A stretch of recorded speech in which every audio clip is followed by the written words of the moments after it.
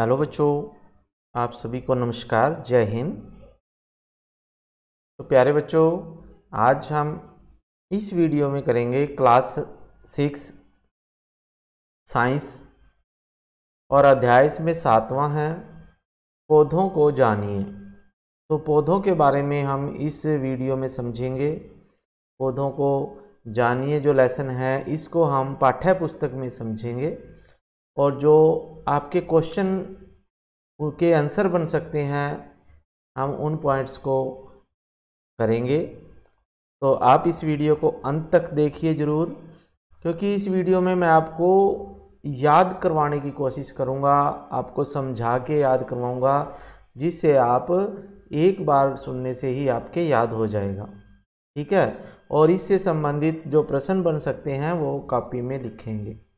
ठीक है बच्चों? तो चलिए शुरू करते हैं। इसमें है पौधों को जानिए।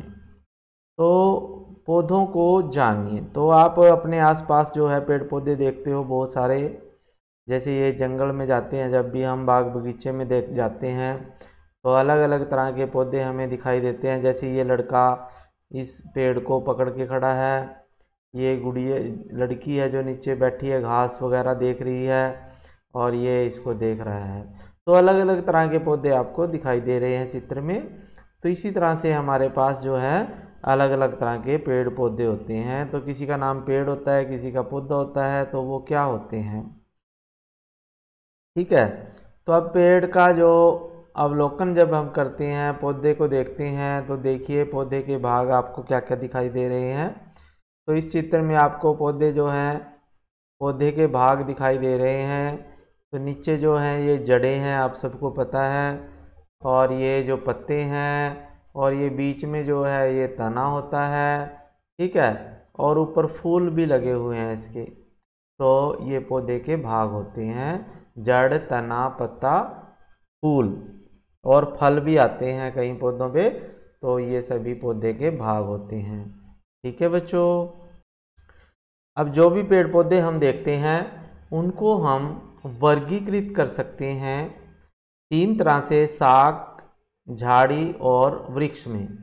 जो भी पेड़ पौधे आप देखते हो, वो या तो शाख होगा, या झाड़ी होगी, या वृक्ष होगा तो पेड़ पौधों को हम तीन भागों में बांट सकते हैं, साग, झाड़ी, वृक्ष। ठीक है?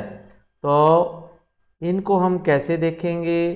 भाई, साग किसे कहते हैं, झाड़ी किसे कहते हैं, और वृक्ष किसे कहते हैं? तो चलिए देखते हैं। अब इनमें है, देखिए, सबसे पहले शाक आता है। शाक क्या होता है? तो शाक किसे कहते हैं? आपके पास प्रश्न आता है साग किसे कहते हैं? तो साग होता है, हरे एवं कोमल तने वाले पौधे शाक कहलाते हैं।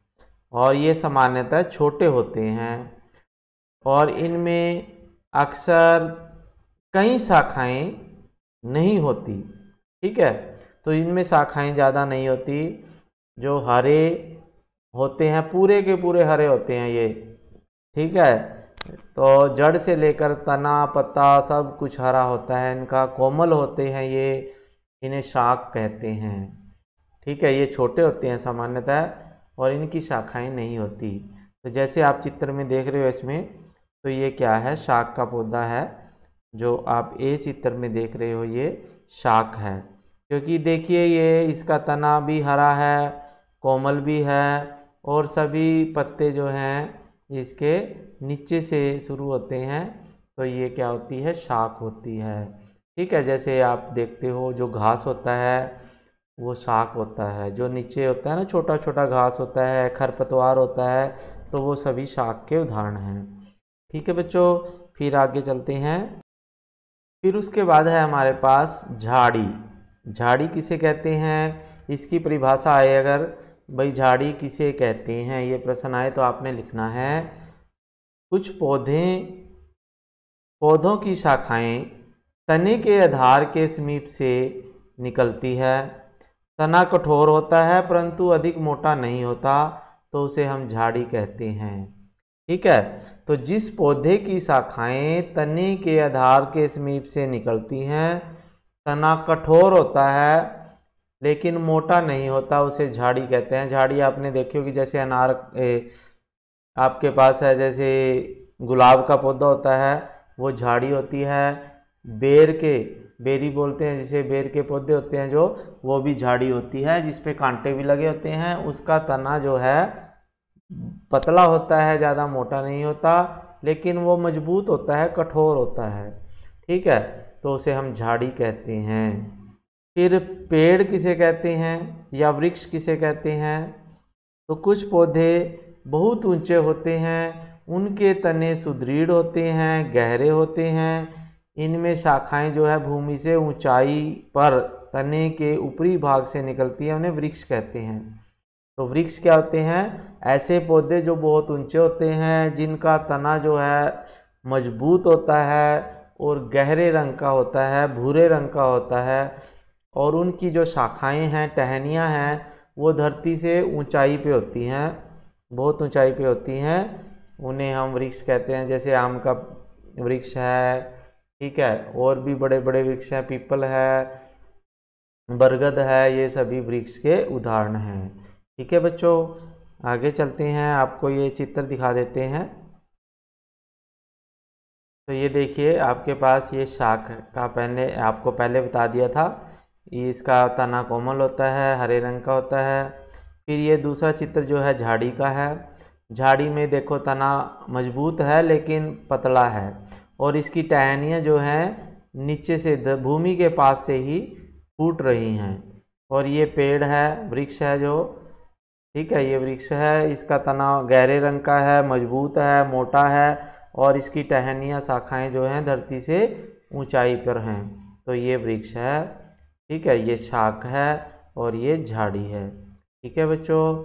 तो ये आपने देखी शाख, झाड़ी और वृक्ष के पौधे, या ठीक है? उसके बाद हम देखते हैं, उसके बाद आती है आपके पास, प्रश्न आता है विसर्पी लता किसे कहते हैं? विसर्पी लता किसे कहते हैं?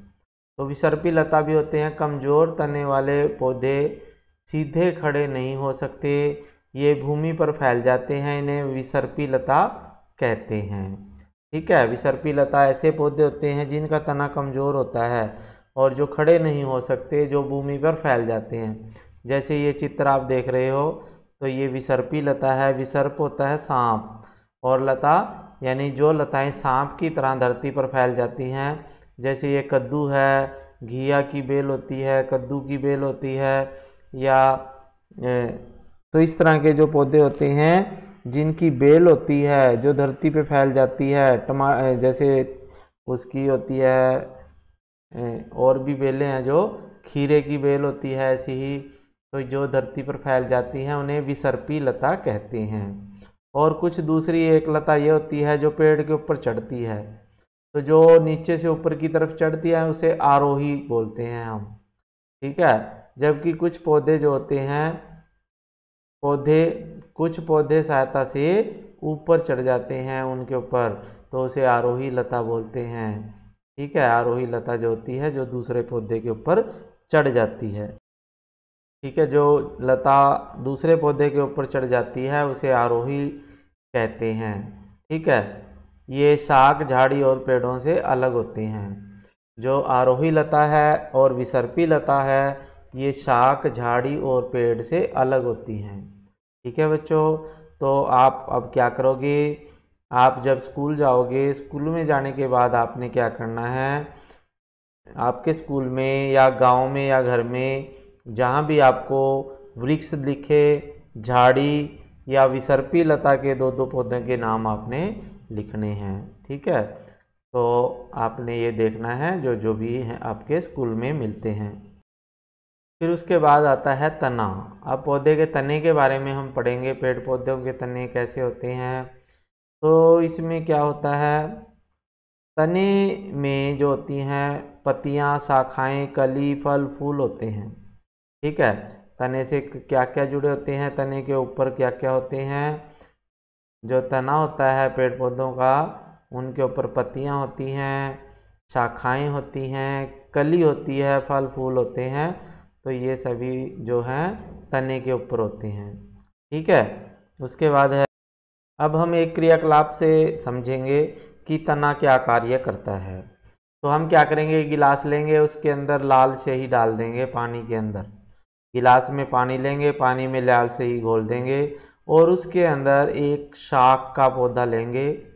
ठीक है, घास, खरपतवार वगैरह मिल जाएगा हमें साग का पौधा लेंगे और उसके तने को काट के ऐसे और इसको इसमें डुबो के रख देंगे। तो इसको हम एक दिन के लिए डुबो के रख देंगे। तो फिर अगले दिन देखेंगे, जो हमने लाल शही डाली थी, उसकी वजह से इसके पत्तों पे लाल रंग के धब्बे आ जाते हैं, जैसे आप दिखाई दे रहे हो। तो ये लाल रंग का धब्बा कहाँ से आया? ये जो आपने पानी में लाल शही घोली थी, वो तने के रास्ते से ऊपर चली जाती है, ठीक है? और जो पत्तों तक चला जाता है तो ये तने का कार्य है, ठीक है बच्चों? आगे देखते हैं। तो ये देखिए, जब हम तने को काटते हैं तो आपको ऐसा चित्र दिखाई देता है, ये वाला। तो जहाँ से लाल रंग है, ये तने से अंदर चला गया, और यहाँ से तने से होता हुआ ये पत्तों पे आ जाता है। तो तने का काम क्या है? तो तने का काम जो है, ये है भाई कि तना जो है, जल जो है तने में ऊपर की ओर चढ़ता है। अर्थात तना जो है, जल का संवहन करता है और लाल स्याही की भांति जल में विलीन खनिज जो है, जल के साथ तने के ऊपर पत्तों तक पहुँच जाते हैं। तो ये तने का काम क्या है? तने का कार्य है जड़ से पानी लेना और पोषक तत्व लेने और उनको पत्तों तक पहुंचाना। तो ये तने का कार्य है। उसके बाद हम पत्ते के बारे में देखते हैं। पत्ता उसके बाद हम पत्ती के बारे में देखते हैं। पत्ती यानी पत्ता जो होता है, वो क्या होता है, कैसे होता है? तो इसमें देखिए, नीचे चित्र दिखाया गया है पत्ते का। ठीक है? तो अब इस चित्र में देखिए। इसमें बोला है, पत्ते का वह भाग जिसके द्वारा वह तने से जुड़ा होता है, उसे पर्णवृंत कहते हैं। ठीक है, पर्णवृंत किसे कहते हैं, ये प्रश्न आता है। तो पत्ते का वह भाग, जिसके द्वारा वह तने से जुड़ा होता है, उसे पर्णवृंत कहते हैं। तो नीचे चित्र में देखिए तो ये तना है। तने के साथ ये जो डंडी आपको छोटी दिखाई दे रही है, जिस पे पर्णवृंत लिखा हुआ है तो ये जो होता है, पर्णवृंत होता है। यह पत्ता जो है, जिसके द्वारा तने से जुड़ा होता है, उसे पर्णवृंत कहते हैं। और फिर फलक किसे कहते हैं? प्रश्न आता है, फलक किसे कहते हैं? तो पत्ती के चपटे हरे भाग को फलक कहते हैं। जो पत्ती है, उसका चपटा और हरा भाग है, आपको दिखाई दे रहा है ये। चपटा और जितना भी हरा भाग आपको दिखा, दिखाई दे रहा है, इसे पटल कहते हैं, या फलक कहते हैं। ठीक है, पटल या फलक। फिर उसके बाद है उसके बाद है, शीरा किसे कहते हैं? यह भी प्रश्न आता है, शीरा किसे कहते हैं? पत्ती की रैखित संरचनाओं को शीरा कहते हैं। यानी पत्ती के बीच में जो रैखित सिराएँ होती हैं, संरचनाएँ होती हैं, बीच में, पत्ते के बीच में जो लाइनें होती हैं, टेढ़ी मेढ़ी, उसे शीरा कहते हैं। और पत्ती के मध्य में एक मोटी शीरा होती है, इसे मध्य शीरा कहते हैं। ठीक है? और पतियों की शिराओं द्वारा बनाए गए डिज़ाइन को शिरा विन्यास कहते हैं। तो पत्ती के बीच में जो संरचनाएँ होती हैं, उसे शीरा कहते हैं और पत्ते के बीचों बीच एक मोटी शीरा होती है, इसे मध्य शीरा कहेंगे। और पत्तियों द्वारा के ऊपर जो शीराओं का डिज़ाइन बना होता है, उसे शीरा विन्यास कहते हैं। तो ये शीरा विन्यास दो तरह के होते हैं। ठीक है? तो दो तरह के शीरा विन्यास होते हैं। यदि यह डिज़ाइन मध्य सिरा के दोनों ओर जाल जैसा है तो उसे हम बोलते हैं जालिका रूपी सिरा विन्यास ठीक है? अगर मध्य सिरा के दोनों तरफ़ अलग अलग दोनों तरफ़ जाल बना होता है, उसे जालिका रूपी सिरा विन्यास कहते हैं। और घास की पत्तियों में, आपने देखा होगा, घास की पत्तियों में एक सिरा विन्यास होता है, जो एक दूसरे के समांतर होते हैं। तो ऐसे सिरा विन्यास को समांतर सिरा विन्यास कहते हैं। ठीक है? तो सिरा विन्यास दो तरह के होते हैं, जाली का सिरा विन्यास और समांतर सिरा विन्यास तो ये आपको अभी चित्र में दिखा देता हूँ मैं दोनों तरह के सिरा विन्यास तो ये देखिए, पत्तियों में सिरा विन्यास है ये। एक है जाली का रूपी और दूसरा है समांतर, ठीक है? तो जालिका रूपी जो है, इसमें है पीपल का पत्ता, देख रहे हो आप। इसके बीचों बीच जो ये मोटी लाइन आपको दिखाई रही है, इसे मध्य सिरा कहते हैं। और जो भी सारी लाइनें आपको दिखाई दे रही हैं, इन्हें सिराएँ कहते हैं। और जब मध्य लाइन के दोनों तरफ़ जाल सा बना होता है, इसे जाली का सिरा विन्यास कहते हैं, पीपल के पत्ते में। या जा, जितने भी पेड़ हैं ना, सभी के पत्तों में जाली का सिरा विन्यास होता है। और इधर दूसरे चित्र में देखिए, इस, ये घास का पौधा है। इसके जो पत्तों में सिरा विन्यास है, वो समांतर है। इस तरह से नीचे से ऊपर लाइनें जा रही हैं, इसमें सीधी जब भी आप देखोगे इस पत्ते को तो हाथ से छू के तो आपको सीधी लाइनें दिखेंगी इसमें। तो ये समांतर सिरा विन्यास होता है इसमें। तो जितने भी खरपतवार हैं, घास हैं जैसे दूबड़ा बोलते हैं, जिसे उसकी पत्तियों में भी है, या तो आपने इस तरह के जो घास होते हैं, उनकी पत्तियों में समांतर सिरा विन्यास होता है। फिर उसके बाद, अब आगे है, पत्तियों का क्या कार्य है? तो पत्तियों के कार्य के लिए हम क्या करेंगे? एक पौधा लेंगे, जो भी आपके गमले में या कहीं भी स्कूल में छोटा पौधा लगा होगा तो हम क्या करेंगे, उसके ऊपर एक पॉलीथीन बाँध देंगे, जैसे आपको चित्र में दिखाई दे रहा है, पत्ते अंदर हो जाने चाहिए और पॉलीथीन बाँध देंगे और उसको नीचे जड़ों में उसकी पानी देंगे और उसको, पॉलीथीन को आप एक दिन के लिए बंधा रहने दीजिए तो अगले दिन आप इसका अवलोकन कीजिए। तो आप देखोगे, इस पॉलीथीन को जब आप हटाओगे तो पॉलीथीन के अंदर आपको पानी की बूंदें नज़र आएँगी। ठीक है? बेशक एक खाली पॉलीथीन जो है, ऐसे ही अलग से बाँध के इसकी जड़ों में के पास वैसे रख दो। तो आप देखोगे जो ऐसे ही रखा हुआ है, उसके अंदर पानी की कोई बूंद नहीं आएगी। लेकिन जिसके अंदर पौधे की पत्तियाँ हैं, उसके अंदर पानी की बूंदें आपको दिखाई देंगी।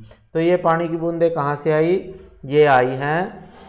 जो पेड़ पौधे की पत्तियाँ हैं ना, उनसे पानी भाप बन के उड़ता रहता है और वही पानी की बूंदें जो है इस पॉलीथीन के अंदर इकट्ठी हो गई। और इसे वाष्पोत्सर्जन कहते हैं। ठीक है यह एक्सपेरिमेंट आप करके देखिए।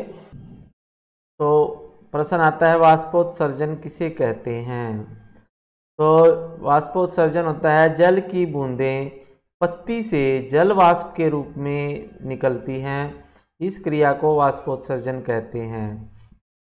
और इस प्रक्रम के द्वारा पौधे बड़ी मात्रा में जल वायुमंडल में छोड़ते हैं। ठीक है तो जिसके कारण वहाँ पे वर्षा अधिक होती है, जहाँ पेड़ पौधे अधिक होते हैं। ठीक है बच्चों तो जल की बूंदें पत्तों से जल वाष्प के रूप में बाहर निकलती रहती हैं, जिसे हम जल वाष्पो उत्सर्जन कहते हैं। ठीक है तो उसके बाद है, उसके बाद है दूसरा प्रयोग हम करेंगे। तो इसमें प्रयोग में हमने क्या करना है? एक तो पत्तों का क्या कार्य हो गया कि वो वाष्पो उत्सर्जन करते हैं। ठीक है, दूसरा क्या कार्य है पत्ते का? तो उसके लिए हमें क्या करना पड़ेगा? एक पत्ता लेंगे, ठीक है, ये हरा पत्ता ले लिया और इस पत्ते को हमने पानी में उबालना है, ठीक है। पानी में उबालना है, तब तक उबालना है जब तक इसका सारा हरा रंग पानी में बाहर ना निकल जाए। तो जब इसका रंग बाहर निकल जाएगा ना तो उस पत्ते को निकाल के हमने दूसरी एक चाइना डिश में कटोरी में लेना है उस पत्ते को डाल देना है यहाँ पे। और उसके ऊपर जो है आयोडीन का विलियन डाल लेंगे। आयोडीन की बूंदे जब डालते हैं तो इसका रंग जो है बैंगनी हो जाता है। तो इससे क्या पता लगता है कि जो पत्ता है, वो उसके अंदर कार्बोहाइड्रेट्स है। यानी वो भोजन का निर्माण करते हैं पत्तियाँ। तो हरी पत्तियों का क्या कार्य है? दूसरा, पेड़ पौधों के लिए भोजन का निर्माण करते हैं। हरी पत्तियाँ करती हैं, जिनमें क्लोरोफिल होता है। तो इस प्रेक्षण से हम क्या पता लगाते हैं? इस प्रेक्षण से हम निकालते हैं कि पत्ती में क्या है? मंड है। ठीक है, जैसे आलू में भी मंड होता है, हमने पहले भी किया है, आलू के ऊपर आयोडीन की बूंदें डाली तो उसमें मंड मिला। तो आलू में यह मंड पौधे के अन्य भाग से आकर एकत्रित हो जाता है, परंतु पत्तियाँ जो होती हैं, वो क्या करती हैं? पत्तियाँ पत्तियाँ जो हैं और पत्तियाँ और एक हरे रंग के पदार्थ की उपस्थिति में अपना भोजन बनाती हैं। हरा रंग जो होता है वो क्लोरोफिल बोलते हैं उसे और इस प्रक्रिया में जल बनता है, कार्बन डाइऑक्साइड गैस का उपयोग होता है। ठीक है? तो जो पेड़ पौधे हैं वो उसकी हरी पत्तियाँ और क्लोरोफिल की उपस्थिति में जल और कार्बन डाइऑक्साइड के उपयोग से अपने भोजन का निर्माण करती हैं, मंड का निर्माण करती हैं। इस प्रक्रम को प्रकाश संश्लेषण की क्रिया कहते हैं। और इस क्रिया में ऑक्सीजन बाहर निकलती है, यानी पेड़ पौधे जो है ऑक्सीजन बाहर छोड़ते हैं। और पत्तियों से द्वारा संश्लेषित भोजन जो है, पौधे के विभिन्न भागों में इकट्ठा हो जाता है, संग्रहित हो जाता है। ठीक है, जो भोजन पत्तियाँ बनाती हैं तो वो पौधे के विभिन्न भागों में जमा हो जाता है। तो इसमें अब पत्ते का क्या क्या कार्य आया? पत्ता जो है, एक तो जल का उपयोग करके अपना भोजन बनाते हैं पौधों के लिए, और पत्तियों से जल की कुछ मात्रा का ह्रास जो है, वाष्पोत्सर्जन द्वारा होता है। तो ये दो कार्य हैं पत्ती के। एक तो जल का उपयोग करके भोजन का निर्माण करना। और दूसरा जो है, पत्तियों से जो है, जल वाष्पोत्सर्जन के द्वारा वायुमंडल में उड़ता रहता है। ठीक है? तो उसके बाद जो तना है, तना पानी कहाँ से लेता है? तने को पानी मिलता है, वो पत्तों तक जाता है। पत्ते जो है, अपना भोजन बनाते हैं, वाष्पोत्सर्जन करते हैं। लेकिन अब तने को पानी कहाँ से मिलता है? वो मिलता है जड़ के द्वारा। ठीक है? तो इसके बारे में हम नेक्स्ट वीडियो में समझेंगे। और भी लेसन जो रहता है, वो नेक्स्ट वीडियो में हम करेंगे। तो यदि आपको ये वीडियो अच्छी लगी तो आप इसे लाइक कीजिए चैनल को सब्सक्राइब कर लीजिए, घंटी के बटन को दबाइए, और अपने दोस्तों के पास भी इसको भेजिए। ठीक है बच्चों? तो इस चैनल के माध्यम से आपको साइंस और मैथ दोनों की तैयारी कराई जाती है। तो अगर आपने चैनल सब्सक्राइब नहीं किया तो चैनल सब्सक्राइब कर लीजिए। ठीक है बच्चों? ओके, फिर मिलेंगे नई वीडियो के साथ। धन्यवाद, जय हिंद।